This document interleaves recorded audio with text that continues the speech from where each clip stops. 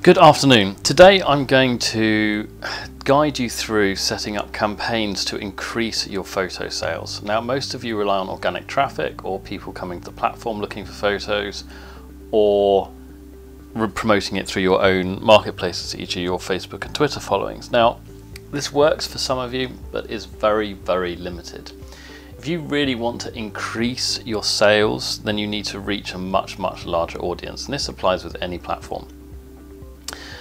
So the way we're going to do this is we're going to go through using this photo of my dog Socrates and we're going to set up a product. We're going to determine which one of those products is most likely to be wanted by volume and then we're going to set up an advertising campaign on Google Ads to do this. So first of all we need to establish what product people want most out of the gifts section. I don't believe people will want to buy a photo of a puppy. I don't believe people, unless it's theirs obviously, I don't think people want to spend large amounts of money on pictures of someone else's puppy. So what I, but I do believe that people will probably want to spend money on something that has a cute picture of a puppy on. So we're going to start with using Google Trends and we're going to explore what the most popular gifts searched for are. So we're going to start with photo mugs. You can see around Christmas it goes through the roof. Uh, let's have a look at acrylic photo keyrings. Let's look at photo keyrings. Much, much lower volume. Fridge magnets.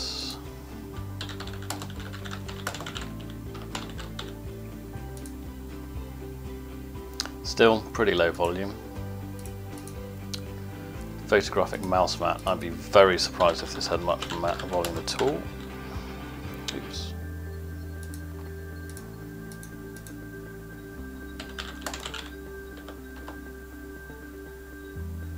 Yeah, virtually non-existent.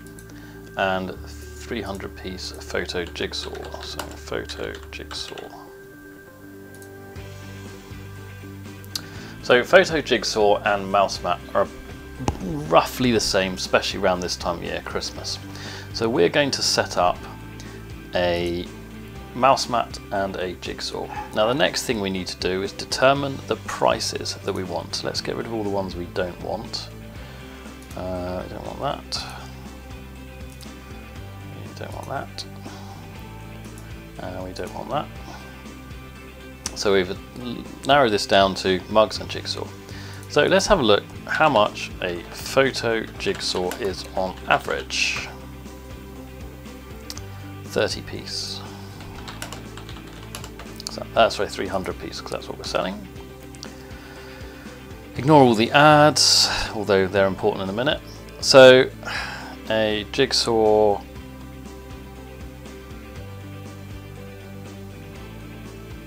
looking around in between 8 and 20 pounds.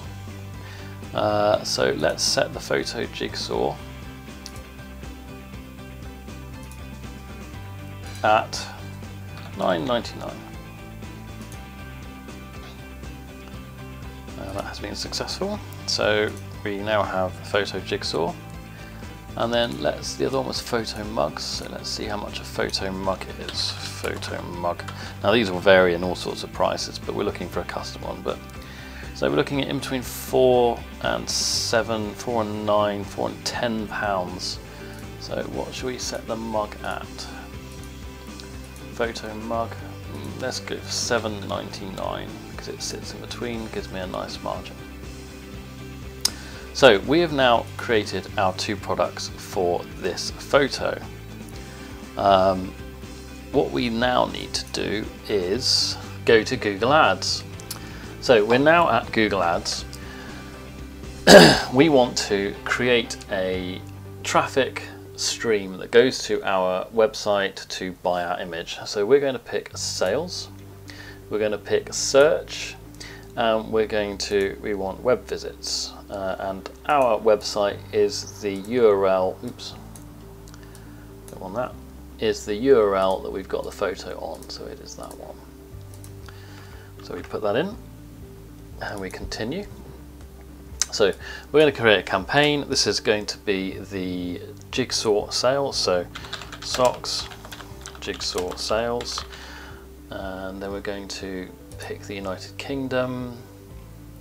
Actually, we can add in, well no, we'll stick with the United Kingdom. You can add in US and everything else. We've got English.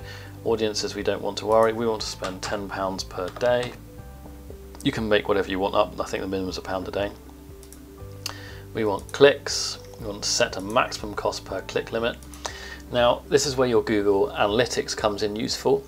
So if you look at your Google Analytics and then find out how many times, how many pages do people view when you look at your, when they look at your profile. Statistically speaking, I think it's about 15 or 16 pages from Google Ads across our platform. Um, I mean, we can just have a look as an example. Hmm, audience. There we go. 17.29 pages per session. So if we want to make our money back, and we assume that the average person looks at 17 pages per session and we make 0.25 cents per page view 17 times 0.25 that is 4.25 pence per click. So we probably won't get one that low but we're trying to make sales here. So let's go for 0.10 pence per click which means we get roughly 50% of our money back without us having to make any sales so we save and continue that set up our ad group. So this is socks, jigsaw, puzzle, one. You can call these anything you want. So we want to enter the Kickstarter jigsaw puzzle. Let's get some keywords.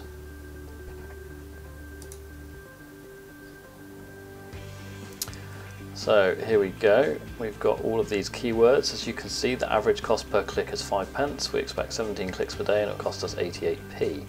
So we will accept all of those and we will save and continue. Right, so the ads. Now, as an example, let's look up a jigsaw puzzle. And these are the ads. This is where your ad is going to show. So if someone types in jigsaw puzzle, these are where you're going to go. Now you can see they're all different, but these companies like Fotopuzzle, John Lewis, Amazon will spend a lot of money working out what the best ad is to get their click. So jigsaw puzzle at amazon.co.uk. So we're going to do this. We're going to change this. We need to change this URL to jigsaw puzzles socks the sheltie. Actually, we'll do that the other way around. Socks, the sheltie, jigsaw puzzles. Oops, and make sure there's no spaces.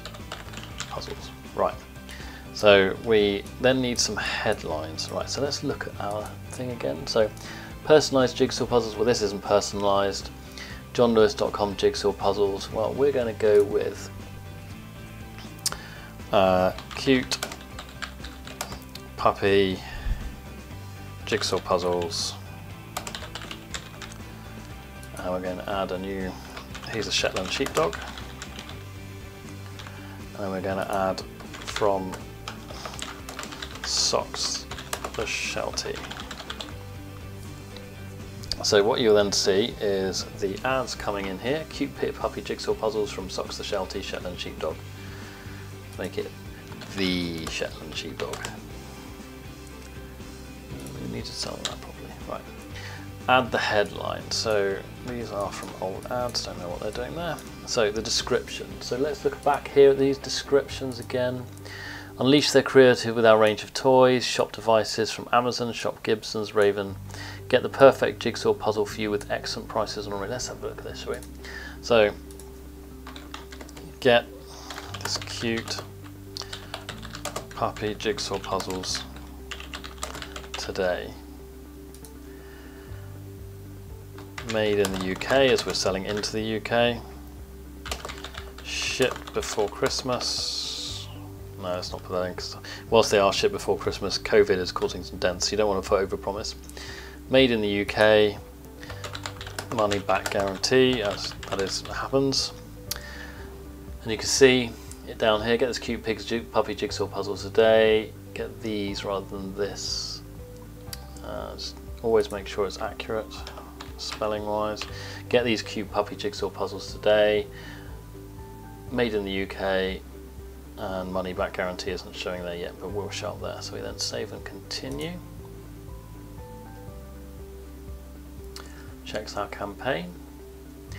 So it reckons it'll cost us 31 pence a day to get seven clicks. So we're not talking of massive amounts of money here. Um, you can obviously create more ads to improve your campaign performance, but that's down to you to explore. We're not going to go through every single permeation here because we'd be here all day. It's to give you an idea of what it does. Publish, and that is now live. So all we have to do is come back in a couple of days and we'll have a look through here, we'll look at the costs and we'll see if we've had any sales. I hope this has given you an idea of how to expand your sales and put something together for very little or very little cost to hopefully increase your sales. Now I would like to point out this is not guaranteed sales, it is guaranteed traffic, uh, or at least as close to it as you can possibly get it is down to you to refine your ads to find out what people want to buy and you need to make sure that your advertise your advertising reflects that. Now of course I did this with very very slim margins um, so the click per cost has to be very very low otherwise you end up losing money. If of course you're making 10 15 20 30 pounds or more then you can you can afford to have a much much higher bid or bid on a lot more words. Um, which of course then means that you have a higher uh, rate of return.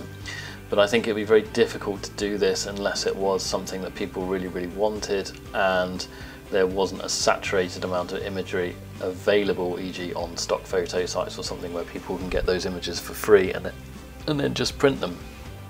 So when you are selling products, you need to make sure they are unique, they are not commonly available, and you've then got yourself a winning combination if you can put it in line with this Google ad system.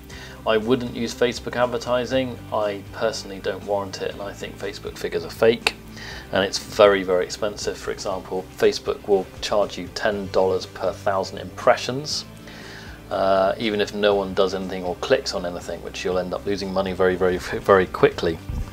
So CPC, which is what Google Ads is, which is cost per click, is the way to go for something like this. Um, if you have any questions or would like me to go into any detail of this and any more any specific area of this in more detail then please comment below and I will put something together to show you this. If we don't speak again I hope you all have a good Christmas and I look forward to seeing more spontaneous growth, more sales and more features coming in next year. Enjoy your Christmas and take, take care of yourselves.